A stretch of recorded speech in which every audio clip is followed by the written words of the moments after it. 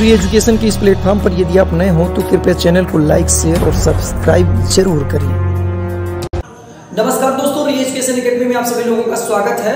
और लोगों की जो है बढ़ती हुई ऊर्जा की मांग तथा कार्बन डाइऑक्साइड के उत्सर्जन को कम करने के मिशन के अंतर्गत सरकार के द्वारा राष्ट्रीय हाइड्रोजन मिशन जो है प्रारंभ किया गया है।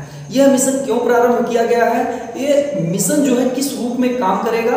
और लोगों की आवश्यकताओं को पूरा करने के लिए कब तक चरणबद्ध तरीके से जो है हाइड्रोजन को एक ऊर्जा के विकल्प के रूप में स्थापित करेगा, इन सभी चीज़ों को आज के संक्षिप्त जो है सेशन में हम लोग जो समेटने का कार्य करेंगे।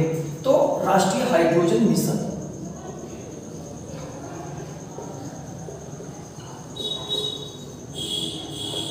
राष्ट्रीय हाइड्रोजन मिशन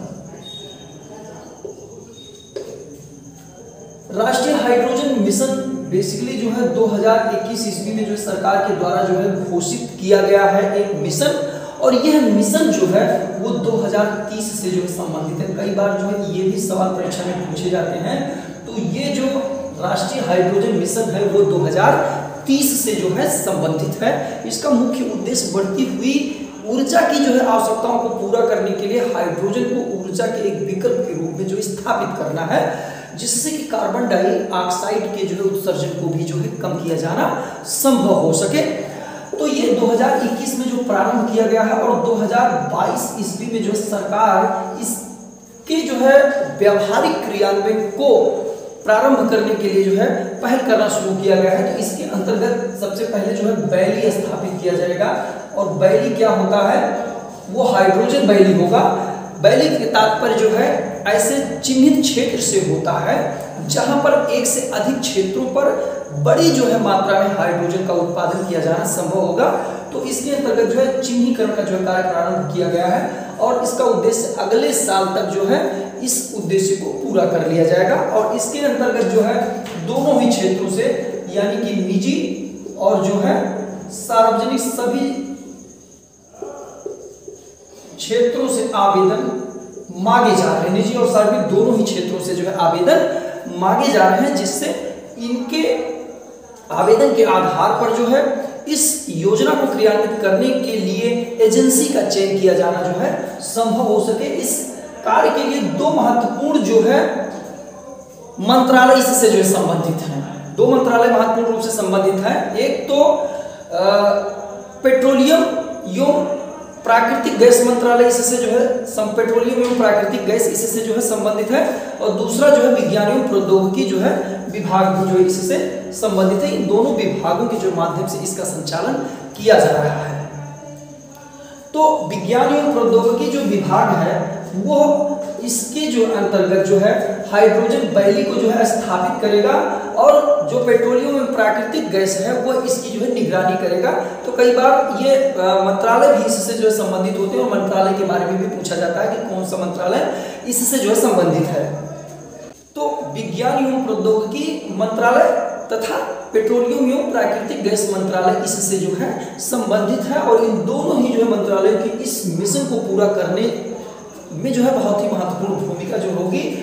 सरकार का उद्देश्य राष्ट्रीय हाइड्रोजन मिशन 2021 के जो है अंतर्गत जो है 2030 तक जो है देश में 10 लाख टन 10 लाख टन जो है हाइड्रोजन उत्पादन का लक्ष्य रखा गया है। और ये हाइड्रोजन जो मिशन है, वो मूलतः जो है, वो तीन चरणों में जो है प्रारंभ होगा। एक तो 2023 से लेकर के 2000 जो है, वो 27 तक जो है चलेगा और दूसरा 2027 से लेकर के 2033 तक चलेगा और अगला जो है, वो 2033 से लेकर के 2050 ईस्वी तक जो है चलेगा। तो 2027 तक जो देश में जो है, वो स्थान के चिन्हीकरण प्लांट इत्यादि पर जो है काम हो जाएगा और यहाँ तक ये उद्देश्य बनाया गया है कि 500 जो है मीट्रिक टन जो है यहाँ पे हाइड्रोजन का उत्पादन प्रारंभ कर दिया जाएगा। यहाँ पर जो है 2033 के अंतर्गत इस पर जो इसके भंडारण इत्यादि पर जो है चर्चा किया जाएगा। अगले में जो है इसके विकल्प के, ऊर्जा के विकल्प के रूप में ईंधन को जो है हाइड्रोजन ईंधन को जो है प्रयोग में जो है लाए जाने पर काम किया जाएगा। इसको एक व्यापक रूप में जो है ईंधन ग्रीन एनर्जी के रूप में स्थापित किया जाएगा। यहाँ पर एक जो है, ये शब्द आता है ग्रीन ऊर्जा या ग्रीन एनर्जी तो मतलब ऐसा है कि एक ऐसी जो ऊर्जा जिसके उत्पादन में जो है किसी भी प्रकार के प्रदूषण जो है नहीं होते हैं तो ऐसी ऊर्जा जो ग्रीन ऊर्जा होती है, जिसमें रिन्यूएबल ऊर्जा या नव्यकरणीय ऊर्जा इत्यादि को सम्मिलित किया गया है तो ऐसी ऊर्जा को ग्रीन ऊर्जा कहा जाता है और राष्ट्रीय हाइड्रोजन जो मिशन है, वो बेसिकली इसी रूप में जो है प्रारंभ किया गया है। तो कुल मिलाकर के अभी तक ये जो इस विश्लेषण से आप लोग ये बात जो है समझ रहे होंगे कि राष्ट्रीय हाइड्रोजन मिशन के रूप में जो है, ये जो मिशन जो प्रारंभ किया गया है, वो किस रूप में काम करेगा, इसका उद्देश्य क्या है? और ये जो है, ऊर्जा के परंपरागत जो है, स्रोतों के विकल्प के रूप में प्रयोग होगा, क्योंकि पिछले दो से तीन दशकों में जिस तरीके से देश की जनसंख्या बढ़ी है, उसने ऊर्जा की मांग को बढ़ा दिया है। और चूँकि देश में जीवाश्म ईंधन एक निश्चित मात्रा में ही है तो उसके जो है प्रयोग अगर लगातार बढ़ते रहे तो एक निश्चित समय के बाद खत्म हो जाएगा। और यदि उसका ज़्यादा प्रयोग किया गया तो पर्यावरण प्रदूषण की भी जो समस्या उत्पन्न होगी तो इन सभी समस्याओं से निपटने के लिए एक विकल्प के रूप में राष्ट्रीय हाइड्रोजन मिशन को जो है, यहाँ पर जो प्रारंभ किया जा रहा है तो कुल मिलाकर के यह जो है इसके महत्वपूर्ण जो भाग हैं, जिसके द्वारा जो है राष्ट्रीय हाइड्रोजन मिशन को जो क्रियान्वित करने का जो काम किया जाएगा तो कुल मिलाकर के ये जो है राष्ट्रीय हाइड्रोजन मिशन की जो है एक व्यवस्था है। तो उम्मीद करते हैं कि यह समसामयिक जो है अवधारणात्मक विषय के अंतर्गत जो है यह टॉपिक आप लोगों को जो है समझ में आया होगा। और इसी तरीके से आप लोग भी अपने स्तर पर जो अध्ययन करते रहिए, मैगजीन का अध्ययन करिए महत्वपूर्ण जो है न्यूज़पेपर का अध्ययन करिए और महत्वपूर्ण जो है समाचार का जो है सुनिए।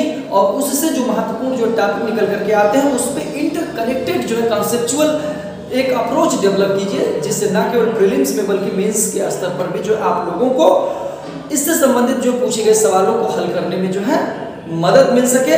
तो अपने अन्य विषयों के साथ साथ जो है इन सभी जो टॉपिक्स का अध्ययन करते रहे पुनः अगले लेक्चर में हम जो है एक नए टॉपिक के साथ मिलेंगे। तब तक के लिए नमस्कार।